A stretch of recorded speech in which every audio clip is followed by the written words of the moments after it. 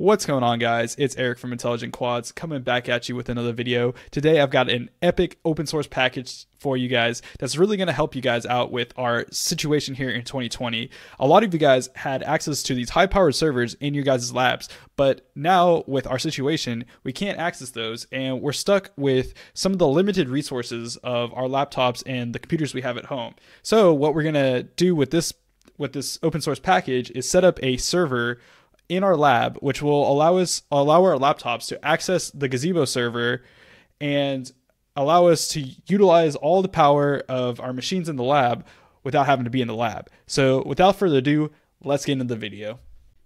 So the first thing we're going to need to do to install Gazebo Web is to make sure we've got Gazebo installed. For this tutorial, I'm going to be using Ubuntu 2020 with Gazebo 11. So I'm going to go ahead and make sure I've got the Gazebo 11 dependency as well as some of these other ones.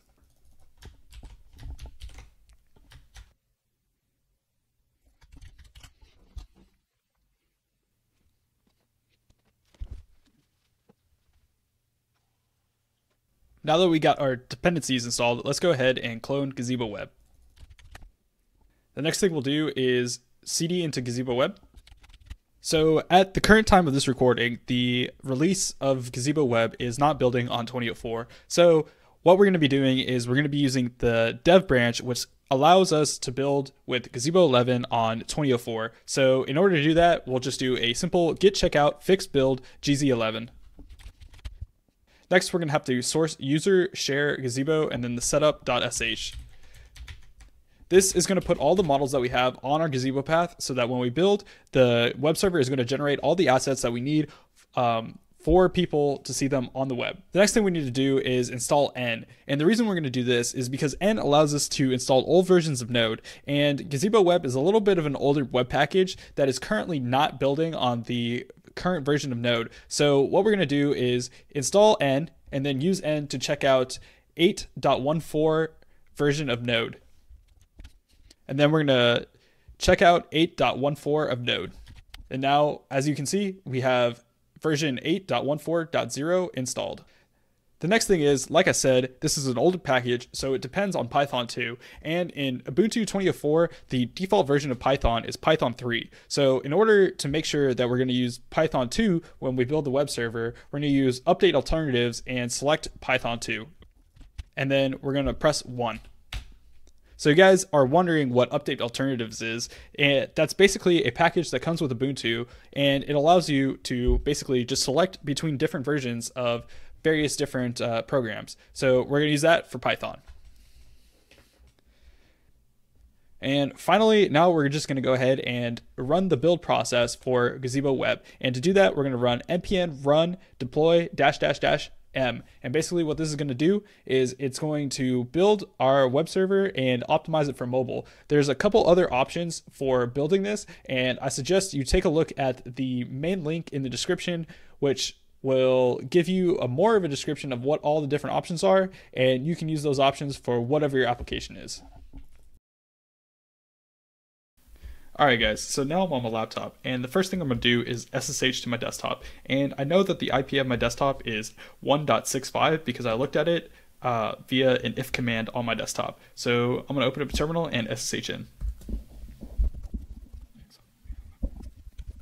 So now I have control of my desktop from my laptop. So first thing I want to do is launch um, Gazebo. But in, in order to do that, I want to launch it without the GUI. So I'm going to make a couple modifications to the launch file that I'm using. So I'm going to first cd to catkin workspace and then um, make the modifications according to the follow along. Now I'm going to open up the runway.launch file with nano. So in order to get this to launch without the GUI, I'm going to need to add a couple different lines, and those are detailed down here. So it's arg name GUI, and then I'm going to make sure that default is true, such that if I don't pass in the argument, it's going to launch with the GUI. So, and then the second argument is I'm going to add this um, below the include tag, such that it uses it when it launches the world. So let's go ahead and do that.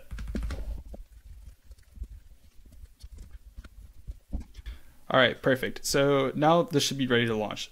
So now let's go ahead and launch our Gazebo server. But in order to do that, we're going to have to pass in that uh, GUI uh, false tag. So in order to do that, uh, type the following command.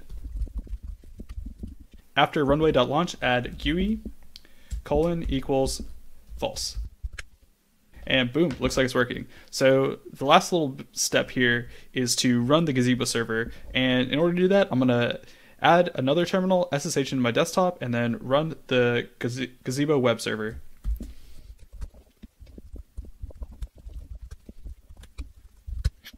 All right, cool. So now if I go to 192.168.1.65 and then port 8080, I should be able to see my gazebo world. So let's go ahead and do that.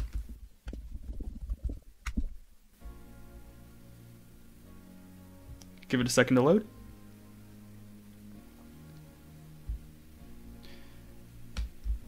And boom, I now have control over my gazebo world from my laptop and it is actually rendering like really, really well.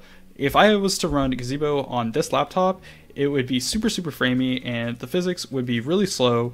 Um, but because I'm running it on my desktop and only forwarding the graphics that I need, it's actually working out super, super well. And this is actually becomes a viable thing to do on my laptop.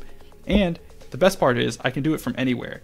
But in order to do that, I'm going to need a VPN, which I'm going to show you guys in the next episode how to set up a VPN super easy such that you could be at a coffee shop and go to the ad- address of your server on your VPN and have a secure connection and use your server from wherever you are in the world. And just to show you guys that this all works, I'm just gonna launch ArduPilot and fly, fly the drone around. So enjoy that, and until next time, I'll see you in the next one.